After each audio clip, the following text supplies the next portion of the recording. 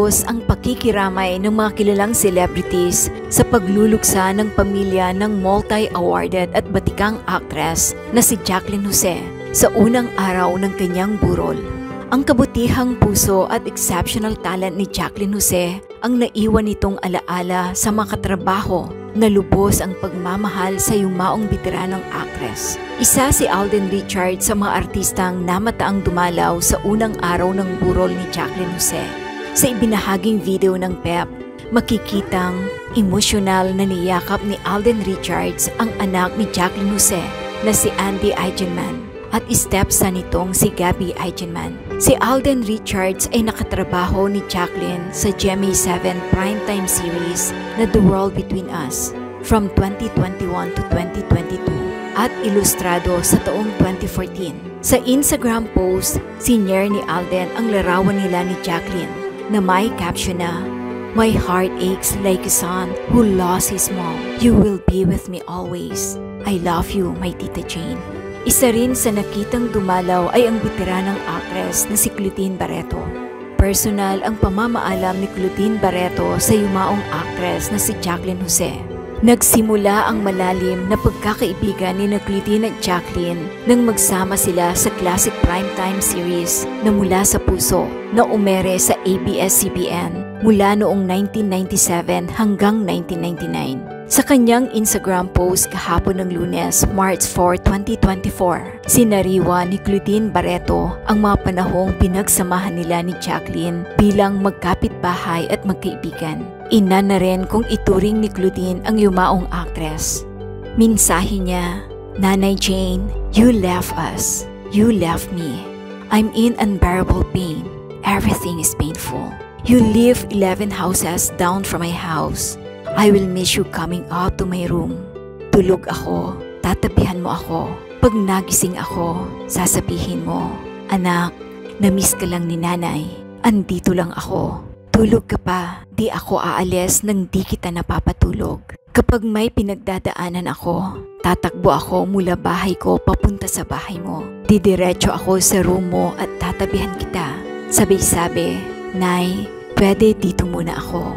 Yayakapin mo ako ng mahigpit, kakantahan at papatahanin. Kinabukasan, may mainit na sabaw. Iaakyat ni Yaya Jing sa akin. Sinabi rin ni Claudine na may nararamdaman siyang galit dahil hindi niya nadalaw si Jacqueline sa loob ng tatlong buwan. Pagpapatuloy niya, galit ako kasi 3 months na di kita dinadalaw. Ayoko mag-isa ka, Nay. Tulungan mo ako please. I love you sobra, Nay. Ang ilap ng tadhana para sa ating dalawa. Ang sakit-sakit, Nay. Miss na miss kita. I'm sorry, di kita naramdaman gaya ng dati. Ikaw bilang nanay ko, alam mo may mali. Andito ka kaagad. Mahal na mahal kita, Nay. Matatanda ang nagsalita na si Andy Eigenman, ang anak ng multi-awarded at batikang actress na si Jacqueline Jose, patungkol sa biglaang pagpanaw ng kanyang ina para matuldukan na ang mga espekulasyon or haka-haka ng mga netizens. Napahagulhol na humarap sa media si Andy Eigenman noong lunes ng hapon, March 4, 2024 upang magbigay ng pahayag sa biglaang pagpanaw ng kanyang ina, ang bitiranang actress na si Jacqueline Jose or Mary Jane Gog sa totoong buhay. Kasama ni Andy ang nakatatandang kapatid sa ama na si Gabby Eigenman. Ayon kay Andy, Sumakabilang buhay ang kanyang ina sa edad na 60 noong umaga ng March 2, Sabado, dahil sa myocardial infarction o heart attack. Maging silang mag-anak daw ay ikinagulat ang nangyari. Pahayag ni Andy, It's with great sadness that I announce the untimely passing of my nanay, Mary Jane Cock, better known as Jacqueline Jose, at the age of 60 on the morning of March 2nd due to a myocardial infarction or heart attack.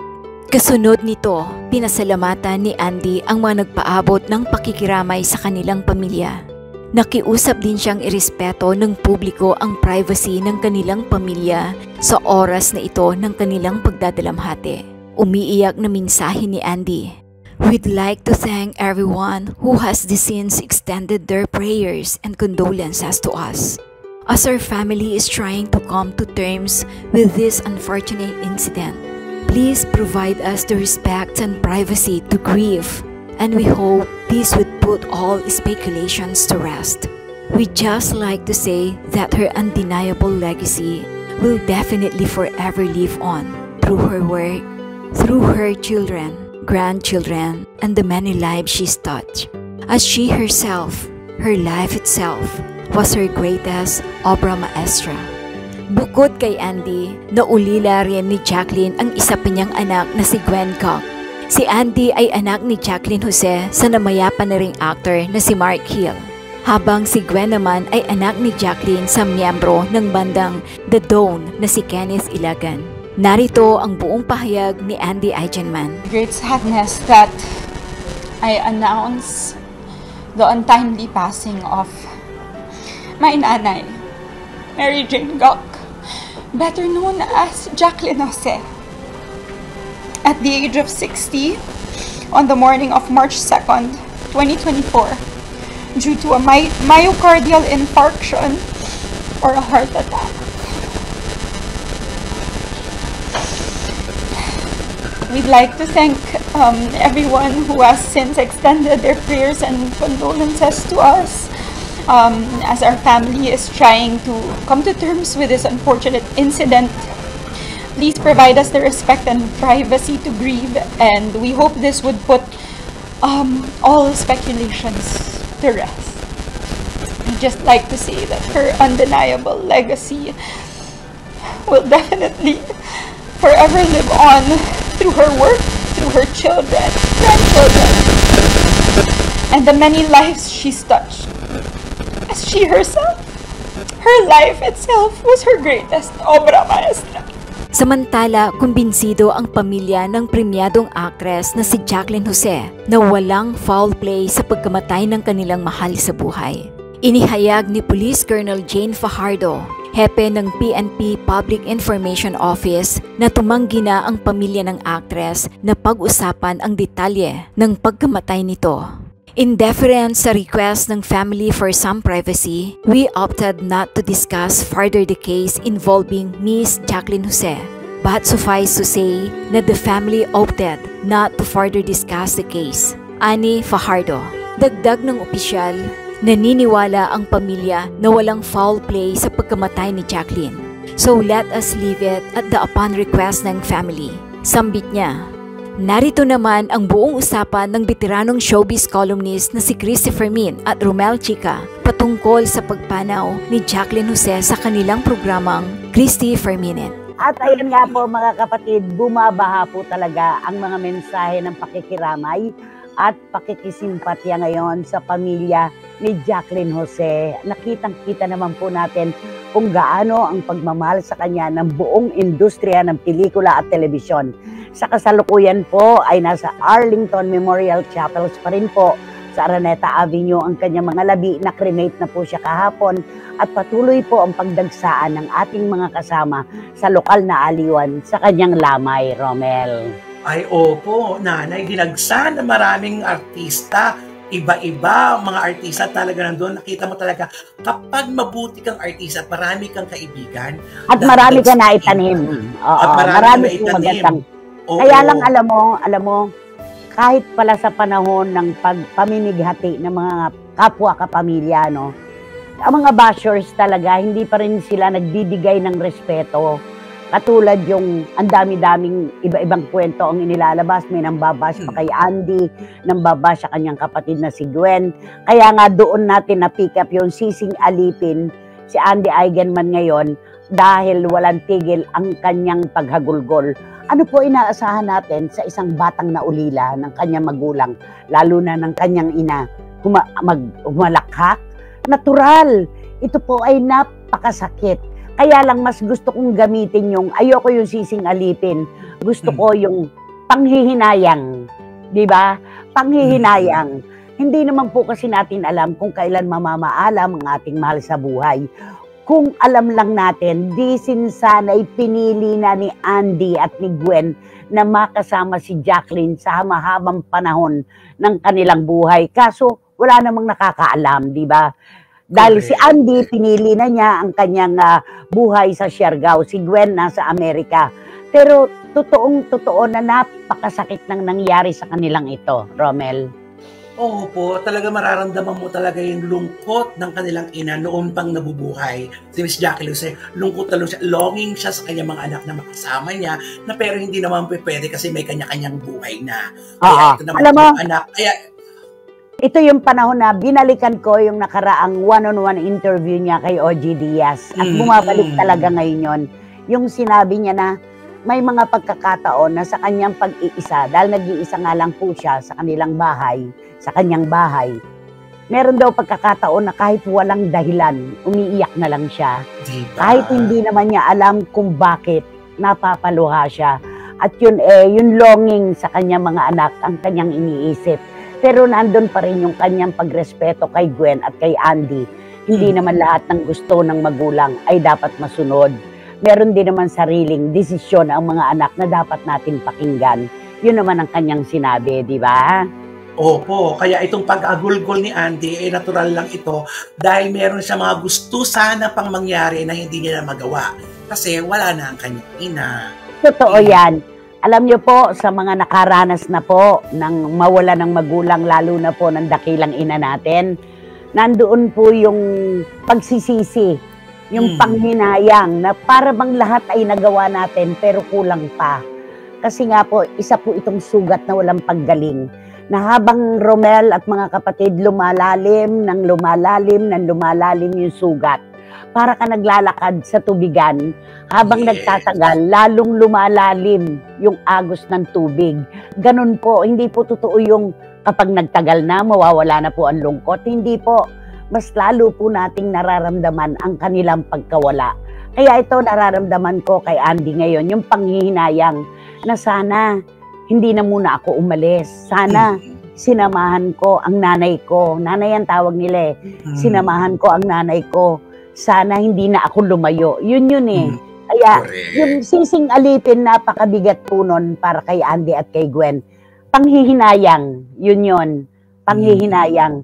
At ah, punong-puno rin ng social media ngayon ng mga ah, pagbibigay ng respeto at ah, pag-alala sa mga nakaraan ng pakikipagtrabaho nila kay Jacqueline Jose. No, ang dami-dami artista talaga nagbibigay pugay sa kanya. Sobra. Lalong-lalo na na dumampi ang lungkot, yung lalong nakasama niya sa teleserye at pelikula. Talagang ramdam na ramdam mo yung pagkakaibigan nila na Oo. namuo, ng is- kahit isang beses lang nagsama, pero nakita mo yung tatak na iniwan ni Miss Jackie Jose sa mga kasamahan niyang artista. Iba. Iba Mhm. yung iniwan niya. Alam niyo po, doon sa mga bashers na nagsasabing iiyak-iyak ka ngayon, wala kang tigil sa paghagulgol, pinabayaan mo nga ang nanay mo. Hindi niyo po kasi alam ang kwento. Kung sana po ay alam ninyo na pinayagan talaga ni Jacqueline Mm. ang kanyang mga anak na pumili ng kanilang desisyon sa buhay.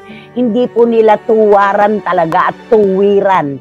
Tuwad kasi tinuwaran yung magulang, parang ganon. At tuwiran na iniwan hindi po, nagpaalam po sila sa kanilang ina at ah, sinabi nila na ito ang gusto nilang buhay na pinayagan naman ni Jacqueline. Pero siyempre, nasa kanyang puso yung sobrang kalungkutan na malayo ang mga anak niya sa kanya.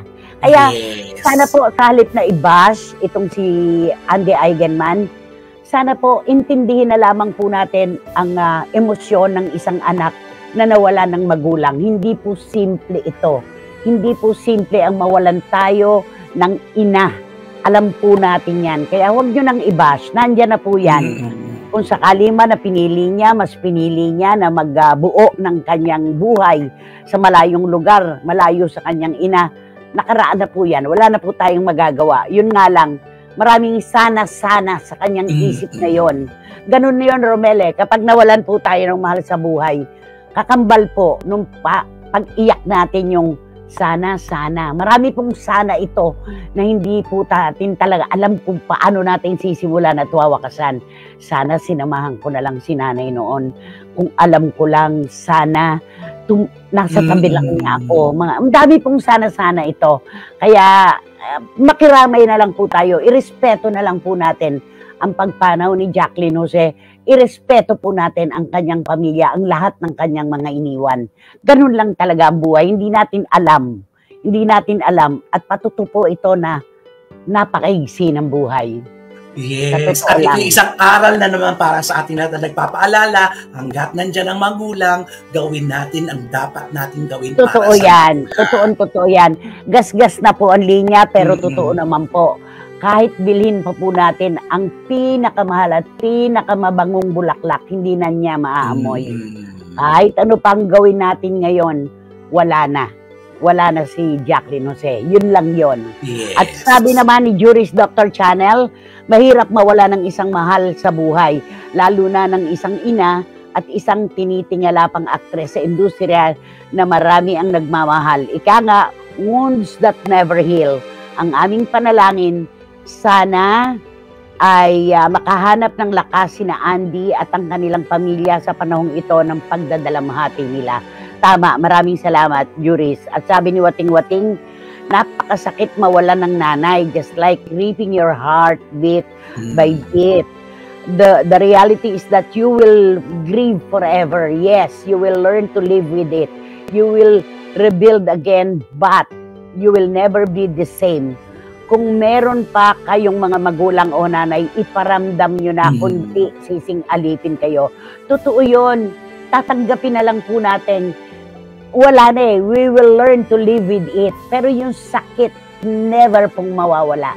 Ano po ito? Isang sugat po ito na araw-araw ay nagnanaknak. Ay, Mm. Diyos ko, ako nga lang, ano, kaya ako melangkolya ngayong Marso. Sa Huwebes, labing apat na taon na pong namamayapa ang akin dakilang ina. Kaya kami ni Bradley Guevara lagi nag-uusap dahil kaarawan naman niya ang pagpanaw ni nanay. Mm. Ay, napakasakit po. Hindi po kayang tapalan ng anuman yung sugat na hanggang ngayon po ay sumasakit, nagnanaknak. Totoo yan. Ramdam na ramdam mo yung nararamdamang sakit ni Andy sa pagkawala ng ina niya, di po ba, Nay? Pero yung sakit na may kalakip na panghihinayang dahil sa kakulangan ng oras nilang Hmm. magkasama. Totoo yan, Marichu Formation Espiritu. Nanghihinayang si Andy na bakit, maraming bakit ang buhay na ito. Maraming sana, maraming dapat, di ba? Yun Correct. yun. Kaya nakakapanghinayang po talaga yung mga panahon na hindi natin nakakasama ang mga mahal natin sa buhay. Ako napakapalad ko hanggang sa huling hibla ng hininga ng aking ina, kasama ko sila ni tatay, di ba? Ayun. Sana ganun din po, ganun din po kayo na habang nandyan pa, na habang nandyan pa, iparamdam po natin kung gaano natin sila kamahal. Yun lang Yes. yun, okay? Galangin naman sana nila ang desisyon ni Miss Jacqueline. Sino ba naman ina ang gustong mahiwalay sa mga anak? Igalang natin ang desisyon nila, lalo si Miss Jacqueline at ni Andy and Gwen. Sabi ni Boy Zikaragay, tama, pagrespeto, totoo yan. Tita talagang nakasyak ang, pag, nakakasyak ang pagpanaw ng batikang actress na si Jacqueline Jose. Humagulgol talaga si Andy, lalo na nung dumating yung urn ni Jacqueline. Ah, condolence daw po. Okay, Tita Nene Ulanday, tama. Salamat. Sabi ni Dan Clavesillas, Nay, agree po ako kaya sinusulit ko po ang araw-araw ng pagsasama namin ni Mama Sel.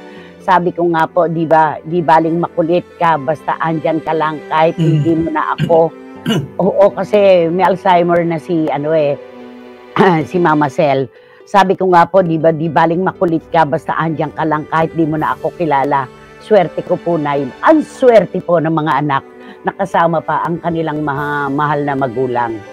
Totoo po yan, Nay, sabi ni Miss Nags ng Belgium. Mm. Ako po 18 years nang walang ina pero sa araw-araw naaalala ko siya. May gabi na iiyak ka na lang kaya dapat intindihin nila si Andy kasi hindi hindi ito madali. Totoo po 'yan. Mer may mga pagkakataon pa nga na nanonood ka, wari nanonood ka na YouTube. May pinanonood kang pelikula. Nagtatawanan, yun nasa screen. Pero mararamdaman mo na lang lumuluha ka. Yun yung Nako. panahon po ng pagmemelangkolya hindi po nawawala sa puso at isip natin ang pagkawala ng magulang, lalo na, idinidiin ko, lalo na ng isang ina. Sa Hmm. totoo lang. Haha, okay. Ay, ako, ayoko na munang magpakahaba kasi tatalunin na naman ako ng aking emosyon. Ayan na nga. Okay, pangalawa, Romel, i-drive mo to, itong issue. Like, eto na, Coco Martin, pinaiimbestigahan daw po ang pagkamatay ni Miss Jacqueline Jose. Kasi napabalita na si, si unang punta, nung nakaratay pa pala, si Coco Martin pala ang unang rumisponde doon at nakita niya yung mga, nakita niya yung pangyayaring gano'n na Ano kasi, nadatnan niya. Romel eh, ah, ang nakakalungkot, dahil nag-iisa nga lang siya na namumuhay, Sabado ng umaga pa lamang ay wala na si Jacqueline. Tapos linggo ng gabi lamang lumabas yung balita dahil tumatawag ang kanya mga kaibigan, kasamahan at pamilya, hindi sumasagot sa mga tawag nila. Doon sila nagkaisip na puntahan na. At si Coco kasama niya ang mga taga-Soko na magpunta doon. Mm. At kailangan maimbestigahan. Natural lamang po yon dahil parang nanay na niya si Jacqueline Yes. siya, silang dalawa ang magkasama sa unang sultada pa lang ng pagiging aktor ni. Coco Martin, di ba? Ayan. Mm, At mm. si Jacqueline ang nagsabi kay Coco na pasukin mo na ang mainstream. Kayang-kaya mo na yan. Kasi mahiyain si Coco eh. Sobrang mahiyain. Kaya masahista yun ano? Sa, Opo. ano yun, sa, masa, sa masahista? Kaya gano'n na lang, kaya gano'n na lang po ang pagtanaw ng utang na loob ni Coco kay Jacqueline Jose, di ba? Eh, habang ikinukwento nga niya sa panayam, di ba?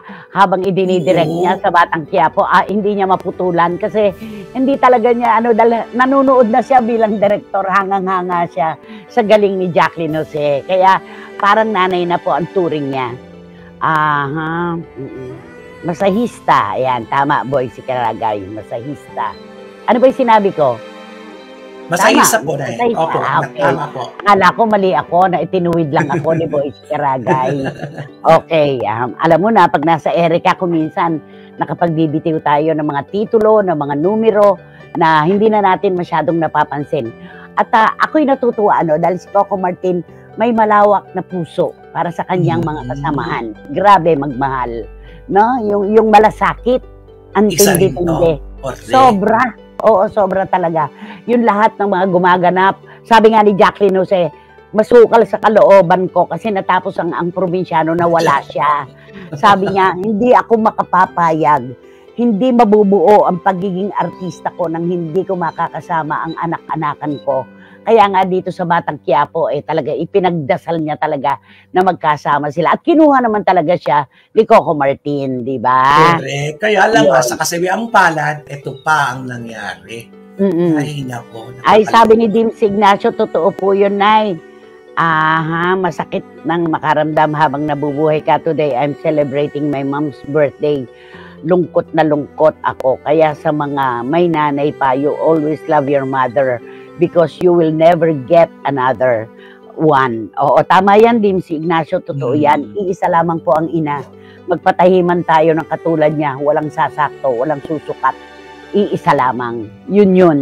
Kaya ako natutuwa dahil si Coco Martin, hindi talaga siya. Pero nag-rule out na eh, ang PNP, no foul play. Walang foul play. Kaya siguro po ay titigil na rin, titigil na rin yung mga haka-haka, mga espekulasyon na baka mamaya may nagtulak sa kanya sa hagdan. Mm. Uh, wala, walang bruises, walang kahit ano sa katawan. Um, ako lang ano, sa nangyari kay Jacqueline, parang inilalagay ko ang pagkatao ni Andy at ni Gwen sa aking posisyon, yung struggle. Parang Mm. hindi ko ma-imagine na nung Sabado ng umaga, nang siya ay atakahin sa puso, paano yung struggle? Napakahirap kalimutan nun. Nag-struggle yan eh, di ba? May struggle na pinagdaanan. Kaya siguro si Andy ay gano'n na lamang ang sobrang paghagulgol. Marami kasi siyang naaalala. Marami siyang pinanghihinayangan. Nasa dulo na po ang pagsisisi ika nga natin, di ba? Ang panghihinayang nasa dulo na rin yan. Kaya habang maaga pa po, yakapin, mahalin po natin ang ating mga magulang. Dahil kapag wala na, maghanap man po tayo kahit sa pinakaituktok ng bundok, wala na tayong makikita.